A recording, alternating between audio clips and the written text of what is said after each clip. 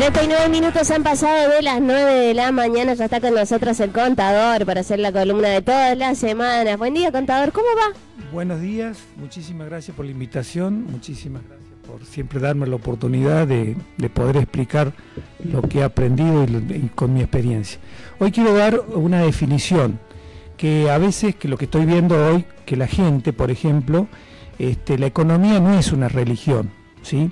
Por ejemplo, la religión, yo creo en Dios sin haberlo conocido y tengo mucha fe y eso. No tengo que comprobar si existe Dios o no en la religión. En la, en la economía es una ciencia.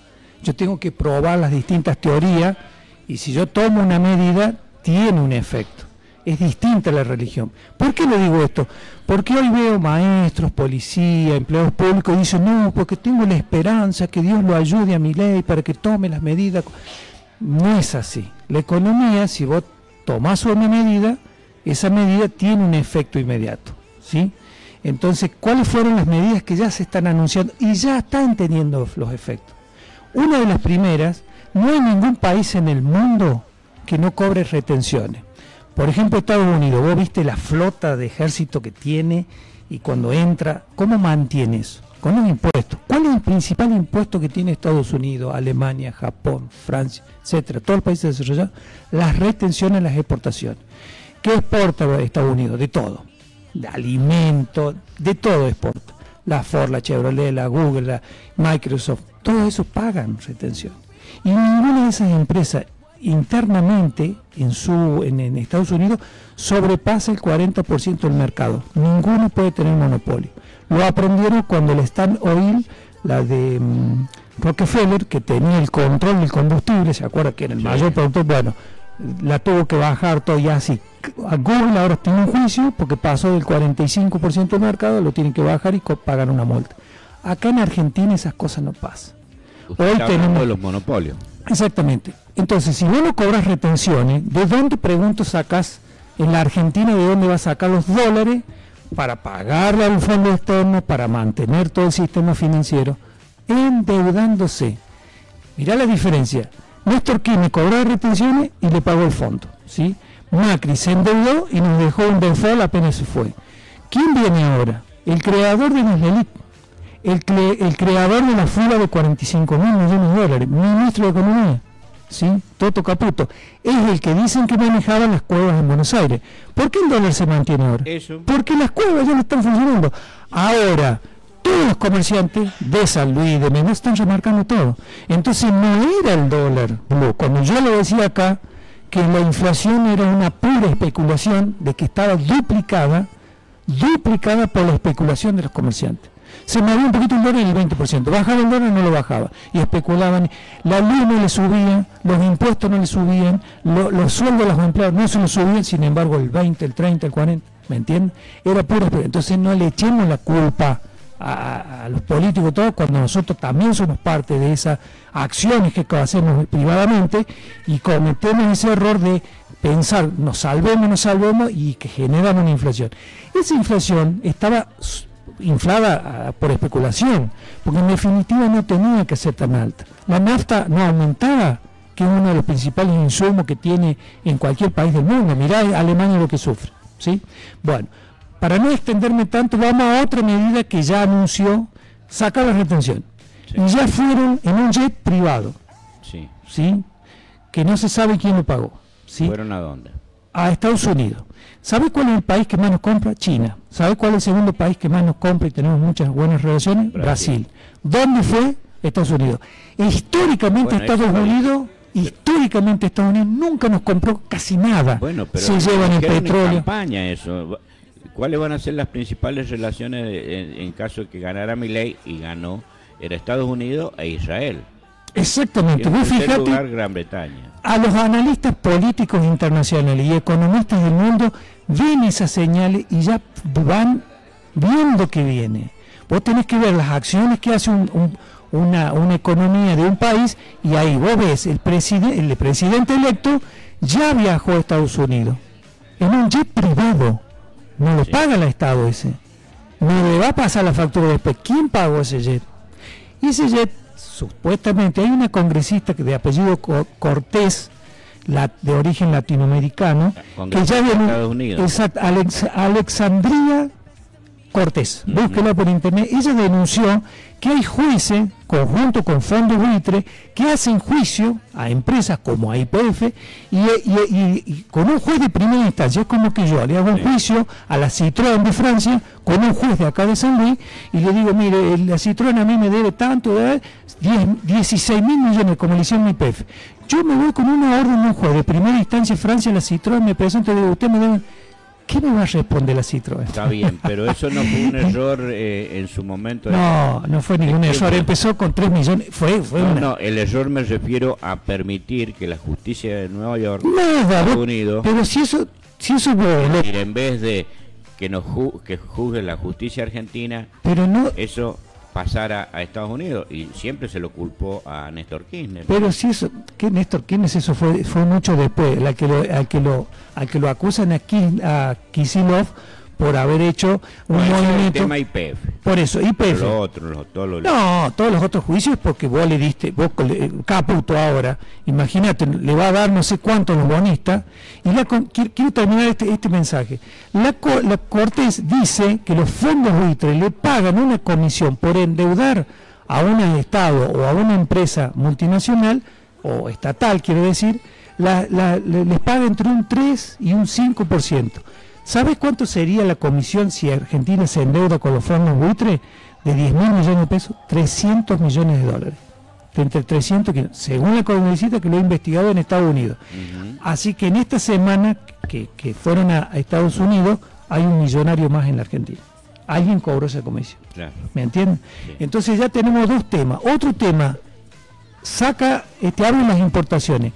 No hay ningún país desarrollado del mundo empecemos, España, Francia, Italia, Estados Unidos, Japón, Alemania, que tenga, que eliminen las importaciones. Siempre defienden su industria.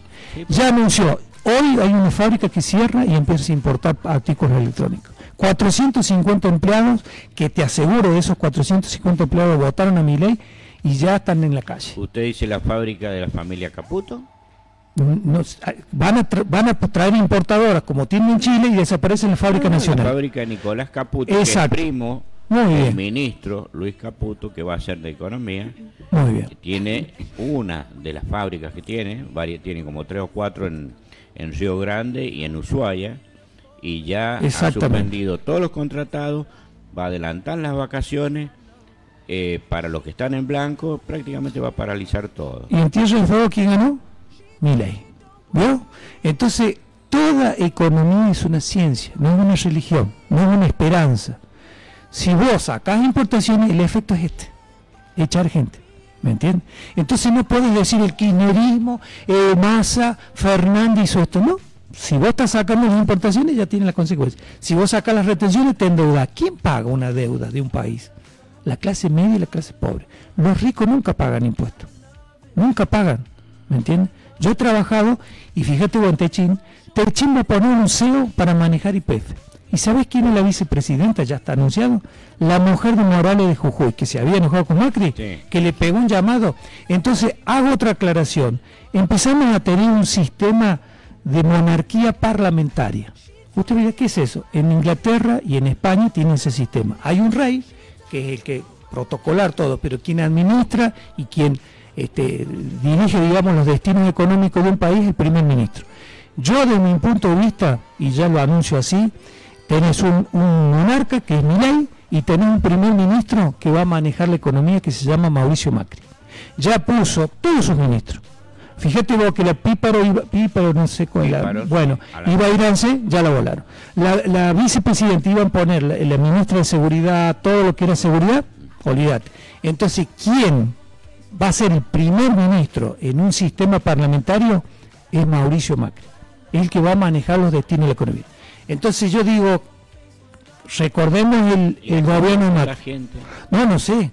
Yo por eso le pregunto a los empleados públicos, a los maestros. Votó a mi ley, no a Mauricio acá, acá fue mayoría. Yo te estoy diciendo que la economía. pero votó a mi ley, no a Mauricio Exactamente. Macri salió tercero. Exactamente. No, ni figura si nadie lo votó. Aparte fue la Bullrich. Pero su, su Podríamos decir la Bullrich, pero vos, fíjate, primero probó con la reta, después con Bullrich y después cuando fuimos los primeros que anunciamos acá, cuando lo vimos juntos, que se hizo la unión entre Milei y Bullrich, dijimos quién iba a manejar la economía. Y se está dando. El ministro Caputo fue el creador de las LELIC en el año 2018. ¿Qué son las LELIC? Son un bono que emitió en forma compulsiva, que significa que los obligó a los bancos a comprar esos bonos. ¿Qué tienen? Están emitidos en, peso, tienen un interés mensual y te lo, devuelven a cierto periodo de tiempo. ¿Qué pasó? Pongámosle, vos compraste, el Banco Galicia tuvo que comprar eh, 10.000 LELIC y recibía un 10% anual y después de un año se lo devuelve Claro, cuando entró el gobierno de Fernández, imagínate, vino el COVID, entró en default, el default lo dejó Macri. 17 mil millones de dólares había que pagar en marzo de 2020 al, al Fondo Monetario y en el, y el primero de abril entramos en, COVID, ¿te acordás? En cuarentena y, tuvo que ir Juan a negociar durante unos meses para ver si liberaban y pudieran exportar soja. Bueno, se olvida la gente de eso. Bueno, esa es la LIC, la. ¿Y qué hizo Fernández? La fueron renovando te daban más interés en peso. Bueno, ¿y cuál era la garantía de Toto Caputo cuando emitió esta LELIC? 45 mil millones de dólares que había entrado al fondo. Entonces los bancos compraron. Dicen, bueno, tenemos un respaldo de dólares. Esos dólares en términos de cinco meses desaparecieron del Banco Central. ¿Qué hacía? Se lo vendían legalmente a las empresas de ellos barata y las empresas las sacaban del país. Esa fue la bicicleta financiera. Esa fue la bicicleta financiera. Cuando, cuando vieron que, no estaban más los 45, ¿qué hizo Caputo? Renunció y se fue. Entró Sandelis, el presidente del Banco Central. Le mandaron 12 mil millones de dólares más del, Fondo Monetario. Que ahora dicen Fondo Monetario que también le van a mandar plata a, a, a Milei, pero es deuda eso. Ah, es deuda.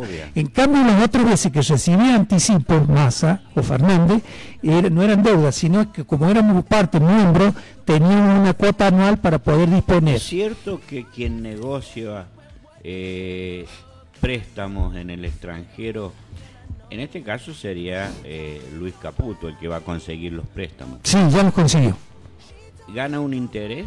Eh, lo dijo este congresista, no, gana una comisión, lo dijo este congresista. Bueno, tiene una bueno acabo de decir, de 10 mil millones de dólares que van a traer, creo que entre 10 mil y 15 mil. Caputo pidió 20.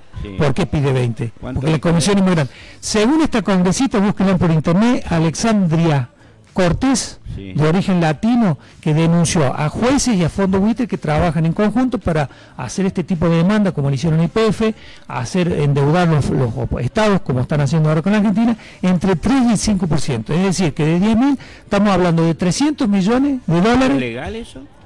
Eso como funciona, como decía Perón, los, los negocios en el mundo se manejan así. Hay comisiones, ¿me entiendes? Entonces, ¿por qué se fueron tan apurados a negociar? Alguien va a recibir esa comisión. Yo no puedo decir este, pero yo creo que hay un argentino que esta semana se hizo millonario. 300 millones de dólares, mil Ya era millonario con todo lo que había gastado pedido antes. Yo no sé quién, pero dijo esta congresista que, que trabaja jueces y, fondos eh, fondos de esa manera. Vamos a la otra, a la otra, a la otra este, medida que ya anunció a partir del 11, liberan los precios, es decir, no hay más precios cuidados que por lo menos me decís, bueno, que de alguna manera frenaban. ¿Qué significa eso? La causa y el efecto. Van a aumentar. ¿sí? Otro, un juez, esta semana, después que ganó mi ley, un juez dictaminó que el DNU que sacó en el año 2021 Alberto Fernández, que declaraba servicio esencial a, la, a las comunicaciones, internet, etcétera, y usted se fija, es lo que menos aumentó en estos últimos dos años, junto con la NAFTA. O sea, aumentó, pero no en la proporción que aumentó la, el tomate. que ha liberado también. Bueno, esa medida perjudica al más pobre y al, y al clase media. Entonces no digan que la herencia, esas medidas están afectando ahora. Bueno, ayer Milei dijo que Argentina va, tiene, va a entrar en esta inflación. Algunos economistas sostienen que ya estamos en esta inflación. No. Eh, pero al margen si estamos o no estamos, eh, lo Yo le voy a explicar por qué no. se va a cumplir ¿Qué significa esta inflación? Bien, vamos, vamos nosotros lo habíamos anunciado en la radio y en la tele. ¿Es peor la inflación que la inflación? Ahora le explico. Eh, primero, para llegar a una inflación empieza una recesión. ¿Qué significa recesión? Se empieza a pagar el comercio. Por ejemplo, actualmente, lo digo acá en los comerciantes de San Luis, las zapatillas, X zapatillas de marca, empezaron 50 mil, la gente lo compra. Al mes siguiente 60 mil, la gente lo compraba. 70 mil, la gente Entonces no estamos en esta inflación. Esta inflación separa el comercio. Entonces, que esos economistas o esos eh, periodistas, opinólogos que dicen que estamos... No, porque usted va al centro y no ve ningún negocio cerrado. Está todo los funcionarios y entra el negocio y están comprando, están comprando. Y ahora están todos desesperados porque dicen, bueno, va a aumentar la cosa, compro. ¿Por qué? Porque aumentaron los sueldos, porque los planes funcionan, entonces gasta la gente. Y eso no es esta inflación. Esta inflación es cuando se para el comercio. Y siguen aumentando los precios de qué? De las tarifas que las vivimos con Macri. 3.000% de la luz aumentó. Va a aumentar la nafta. Imagínate cómo se va a disparar la nafta. Hoy la nafta dice no está subsidiada, no. Es la empresa más rentable de América de las petroleras IPF. Lo están viendo en los bonos, eso viene de hace dos años.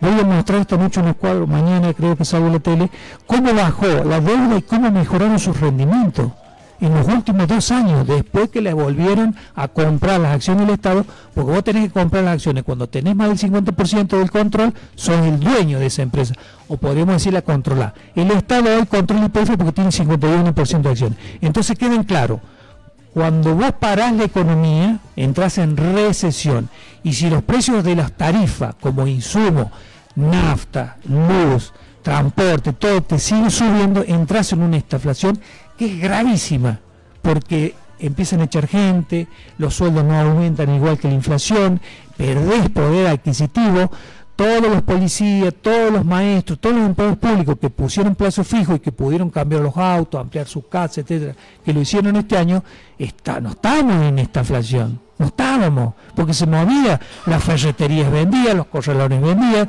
terrenos se vendían, cero kilómetros no hay entrega hasta marzo del año que viene tenés que señalar para ver si te llega algo en febrero. ¿Y eso por qué? Porque estamos bien, no estamos en recesión. Entonces cuando le dice un economista o un opinólogo, porque pienso yo así, que estamos, ¿cómo vamos a tener inflación si yo no veo negocio cerrado? Ahora, con estas medidas que está por poner, empiezan a cerrar fábricas. Vos te pregunto, antes de las últimas elecciones, ¿se anunciaba que cerraban las fábricas? No. ¿Cerraban negocios en, el centro? ¿Vos viste que cerraban porque liquidaban porque no vendemos? No, por eso una zapatilla cuesta 100 mil pesos.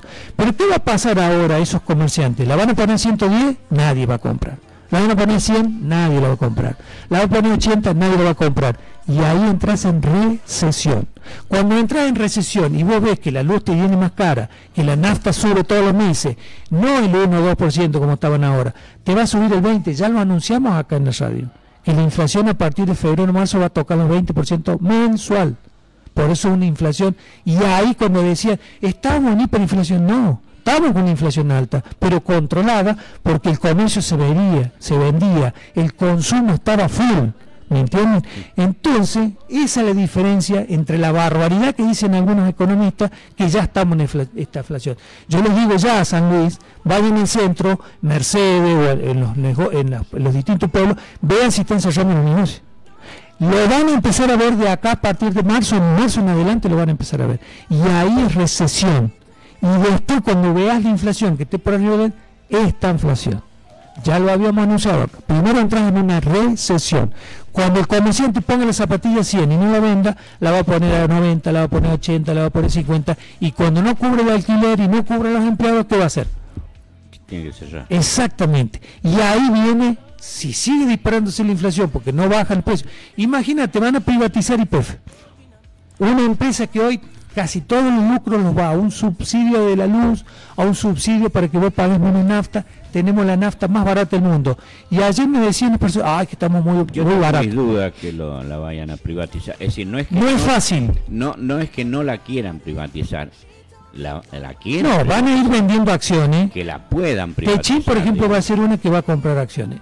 Ah, eh, le van a vender, porque quien va a controlar es un CEO de Techin y va a venir Shell. Vos sos Shell, y decís, che, quiero eh, mil acciones de. Listo, la te las vendo. ahora es estatal, y ese va de Claro, tiene el control. El 51%. Yo he estado, yo he estado, empiezo a vender las acciones. ¿A quién se las vendo? Acá la señorita que es Shell, a vos que sos Techin a vos que sos Caputo, a vos. Entonces, debilitando. baja al 30%. ¿Y quiénes empiezan a tener la mayoría? Los otros. Entonces controlan y controlan las ganancias. Y ellos fijan precios. Imagínate vos que el año que viene IPF va a tener de retenciones, el Estado le va a cobrar retenciones por vender gas, por vender gas a, Brasil, gas al mundo, porque somos el segunda reserva mundial de gas y quien invirtió fue este gobierno, por eso IPF tiene, tiene sus acciones tan altas, porque descubrieron muchos pozos petroleros y porque hay que invertir para buscar esos pozos, no, no, es que, che, busca y por ahí están meses y no lo encuentran hasta cierta profundidad. Exactamente. Entonces toda esa inversión la va a perder y ¿quién le van a ganar? Las empresas privadas. Entonces ahí es la economía que se viene por este gobierno que va a asumir el 10 de diciembre, que ya endeudó el país, que se va a firmar los primeros días. Te sacan los precios cuidados, se disparan todos los precios. Te sacó un de, decretaron nulo, un eh, anticonstitucional, un DNU para las comunicaciones, se disparan las comunicaciones te abren las importaciones, empiezan a cerrar la fábrica. El 80% de los empleados de fábrica de Río Negro, de Tierra del Fuego, votaron a mi ley. Y hoy se están entrando, llegando los telegramas de suspensión, de vacaciones, y algunos ya empezaron a echar. ¿Por qué? Porque esas empresas les conviene importar y se dejan de tener problemas con los empleados. ¿Me entendés? Y aparte, si el Estado no le dice nada, prefiere, por supuesto, que si para mantener una planta que te aumentan los precios, que no vas a vender bien a lo mejor y tener problemas con el empleado, importás a, un precio que buscas el precio más barato del mundo, ¿sí? Buscás el y lo importás y te evitas todo este trastorno. Lo hicieron en el gobierno Macri. Entonces cuando me preguntan a mí, ¿cómo va a ser este gobierno? No es una cuestión de religión. Ah, voy a rezar porque mi ley es Moisés y va a abrir las aguas del Mar Rojo. No es así. Ni mi ley es Moisés, ni siquiera va a ocurrir ese milagro. Bueno, estamos charlando con el contador Claudio Zavala.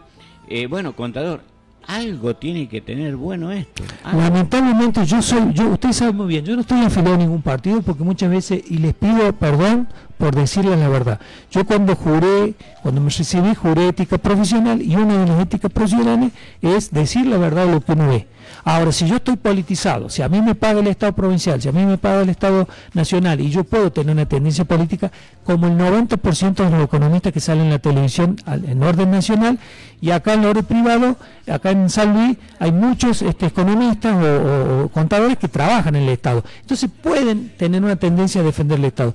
Yo te defiendo a vos, remisero, yo te defiendo a vos, kiosquero, yo te defiendo a vos, almacenero, que sos mi cliente en mi estudio, en el Falucho y la Belgrano, y ahí ¿Cómo vamos a hacer? ¿Cómo nos vamos a mantener? Si vos vas a vender menos, no me vas a poder pagar a mí. Yo te voy a tratar de asesorar para salir, porque estoy preparado, porque ya lo viví en Macri. Y, pero la vamos a ir llevando. Yo estoy preparado para eso, porque ya lo viví con Macri, lo viví con Menem. ¿Me entiendes? Y yo trabajé en una multinacional techín y sé cómo se manejan. Esa gente no tiene cuestiones religiosas de amor y caridad. La ambición es el lucro. ¿Por qué estas empresas privadas de Caputo, de Macri, buscan el fin de lucro? Me decía una tía, no, Macri no va a hacer nada malo porque él tiene mucha plata. Él quiere ser el hombre más rico del mundo. Y es el hombre más poderoso hoy de la Argentina, políticamente y económicamente. Si no, preguntarle a Riquelme quién le va a ganar las elecciones en Boca. Preguntarle a Riquelme. Y acuérdense, la van a frenar esa elección y hasta va a ir comprando socio por socio hasta, hasta, ganar. Lo va a desgastar Riquelme y le va a ganar. Hoy Riquelme gana, tiene toda la comodidad, pero lo va a desgastar, porque la plata es eso. ¿Me entiendes? Entonces cuando mi tío me decía, no, no, él, la ambición no tiene límite. Él quiere sentarse al lado de Billy Gates, de Beso, del dueño de Tesla. Él quiere estar con los más ricos del mundo. Ir a Francia y estar al lado del río Sena, cerca de Torre Eiffel, cenando con los más ricos del mundo y lo va a lograr gracias al voto que hizo la gente a mi ley.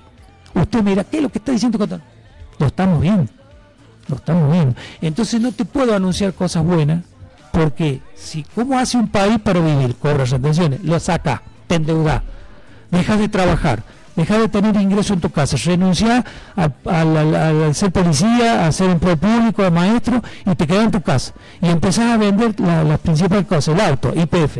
Empezás a, comprar de todo con la tarjeta y después hay que pagarla. ¿Y quién la va a pagar? Tus hijos si dejas de... ¿Y quiénes son sus hijos? Clase media y pobre. El rico no paga. Otro, otro fallo después del triunfo de mi ley. Decretaron anti, este, decretaron este, como bueno, anticonstitucional. el, ¿Te acordás del impuesto que cobró Guzmán a las grandes fortunas? Que solo 10 mil pagaron, no había ninguno de acá en San Luis. 10.000 pagaron porque tenías más de 100 millones de, pesos en activos. En activos.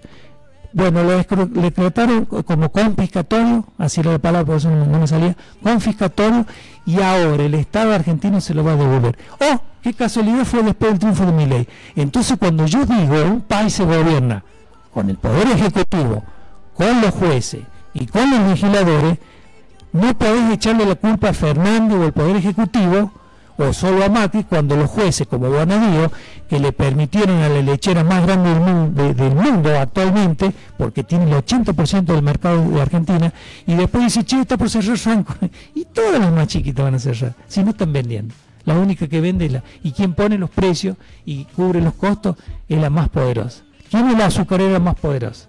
¿Quién es la que enlata y que compró acá la bolsa, una fábrica de bolsas de cartón para, para las bolsas de cemento? ¿Qué tendrá que ver con el rubro? Arcor acaba de comprar hace una semana una fábrica de acá en San Luis que hace bolsas de cartón para, para embolsar el cemento. Así hacen los pulpos, así hacen los monopolios. Y eso lo generó un juez que se llamó Bonadío. Y los legisladores, cuando presentaron Fernández para modificar la elección de los jueces de la Corte Suprema, todos los gobernadores estaban medio de acuerdo y después no dieron apoyo, entonces los tres poderes tienen que estar alineados. Y ahora se alinearon. Vos fíjate, decretaron nulo el DNU de las comunicaciones, decretaron este el tema complicatorio del, impuesto a las grandes fortunas. Francia, Italia, España, Alemania, todos están cobrando impuestos a las grandes fortunas. Y ya lo hacen anual.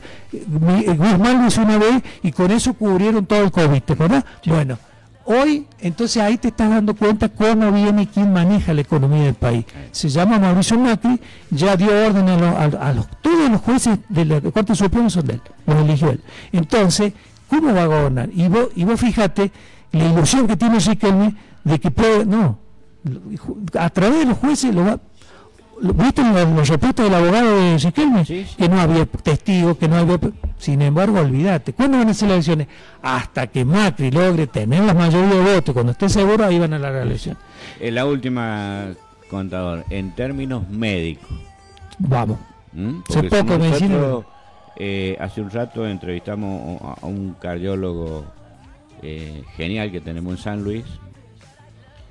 Y, y hablaba de los infartos, eh, del estrés, de un montón de cosas. Entonces se le preguntaba cómo se puede prevenir esto. Entonces, nosotros, el común de la gente, ¿cómo podemos prevenir o cuidarnos un poquito, aunque sea, de, este panorama tan oscuro económico que se viene a través de, la asunción de Javier Milei? Bueno, a medida que vaya pasando el tiempo, este, como dije, mi estudio está preparado por eso. Pero hay otra realidad. La gente eligió este gobierno. Eligió. A su vez, este, si vos no, yo estoy nombrándolo a Mauricio Macri, mi ley anunciaba que iba a privatizar IPF, que iba a sacar las retenciones, que le iba a poner una bomba al Banco Central. Los plazos fijos ya anuncié, después del, 10, del 11 de diciembre van a bajarlos, no los van a tomar. Dije dos cosas que se dieron. Y no fue, dije que los, los SAC se iban a pagar sí o sí, ya llegó la plata, o sea, se va a pagar sí o sí, lo dijimos. El aguinaldo. El aguinaldo, pero el SAC, sí, el aguinaldo. Y dijimos que los plazos fijos no los iban a tomar. Eso lo anunció. Fuimos primicia acá y en la televisión. ¿sí? Y dijimos de la primicia de la, inflación. Van a bajar, sí van a bajar. No los van a tomar, pero no van a estar más al 133%. Claro. Usted mira cuánto van a bajar. Exactamente. Entonces, todos los policías, todos los, maestros, todos los empleados públicos que tuvieron ese plazo fijo y pudieron cambiar el auto, el año que viene no van a tener esa facilidad, van a tener que hacer otra cosa. O van a tener que trabajar en otra cosa, vender. Está bien, pero no me está diciendo nada de cómo podemos prevenir ah, algo, algo, algo. Eh, bueno, cuando vos elegís un gobierno que va a favorecer a los más ricos, a, a los más ricos les va a ir genial. Genial les va a ir. ¿Sí? Así que hacete amigo de algún chico que tenga dólares y que te preste. ¿Entendés? Porque a los más ricos, los que están dolarizados sus inversiones, los que tienen, este, ¿me entienden? Eso les va a ir muy bien. Ahora, la clase media o los que dependen de un sueldo, por eso me llamó la atención que aquí en San Luis los policías, los maestros, los empleados públicos votaron masivamente a mi ley. Bueno, esto es lo que te viene. Pero, ¿sabés qué es lo que están diciendo ya la gente? Que, le están haciendo repetir, y pero si hubiésemos votado más hubiese sido peor. Yo quisiera que den esta semana, porque ya a partir de diciembre ya va a cambiar el panorama Salve. Vayan al centro y me manden una foto si hay algún negocio que está liquidándose. Y te dicen cierro, cierro por, por, porque no vende, qué sé yo. Después de diciembre van a empezar a llegar la foto. ¿sí? Entonces usted mira, pero contar, bueno, es lo que eligió la gente. Por eso volvemos a repetir historia. Y me despido con esa frase que siempre le hemos dicho, que es muy conocida de un tal Confucio, un filósofo chino, que dice, todo pueblo que no conoce su historia está condenado a repetir. Votaron a una fe, a una ilusión, a un milagro, a un señor que se llama Milei que pensó que iba, que iba a hacer todas las medidas económicas para que mejorara su estándar de vida. No es así. Te lo dijo. Voy a abrir, voy a abrir las importaciones, voy a sacar las retenciones, voy a privatizar. Te lo iba anunciando. Es un, un, chico me lo definió mi ley. Mi ley es como esa cajita de cigarrillos, viste, que cuando vos la ves te dice que esto produce cáncer, que te podés morir y la compras igual. Muy bien. Bueno, contado. Bueno, así pasaba la palabra del contador Claudio Zavala, obviamente haciendo la columna de toda la semana. Nosotros tenemos mucho más, son las 10 y 10, pero vamos a seguir un poquito más con esto que es mañana tarde.